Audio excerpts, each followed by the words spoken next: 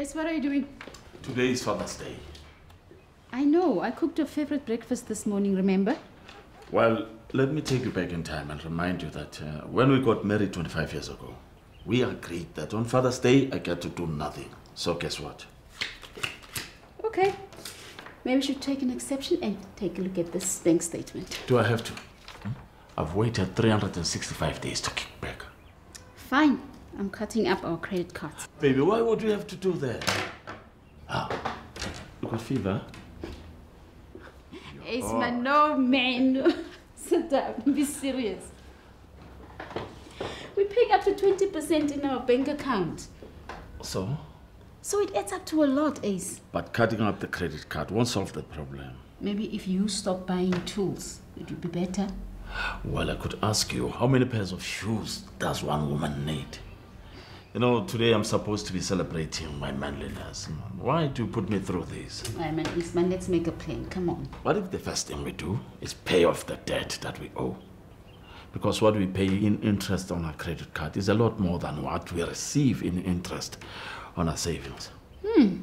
I like your thinking. Mm, then we can deposit any money that we get into a home loan account.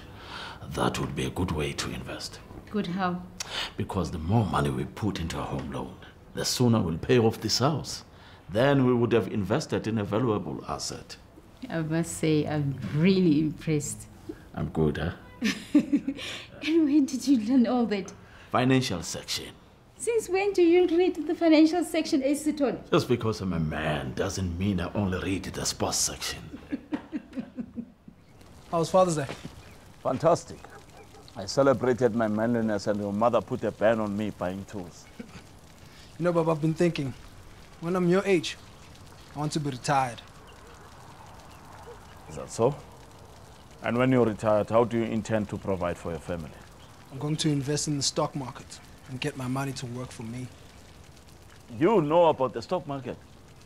No. But Spaghetti's brother knows a guy that sells unit trusts. And who's this guy? I don't know his name, but he drives a Ngca car. And he's always going on about bulls and bears. I think it's from the Eastern Cape. They must like rugby then, eh? Son, he's not talking about rugby. When a unit trust is bullish, it means there's a trend, the price is rising. And when it is bearish, the price is falling. Oh, but he's got a nice house. That must then prove that he knows what he's doing, right? Even the mafia also have nice houses. Just because he's saying the right thing doesn't mean he's the real deal. Look, when you go to see a doctor, don't you check if he's got a certificate on his wall saying he's been to medical school and is properly qualified? I suppose. It's the same with investing. Only hand over your money to a company that has been approved by the Financial Services Board. Otherwise, they could be fly-by-night crooks. And how do you know all this? I, I read, man.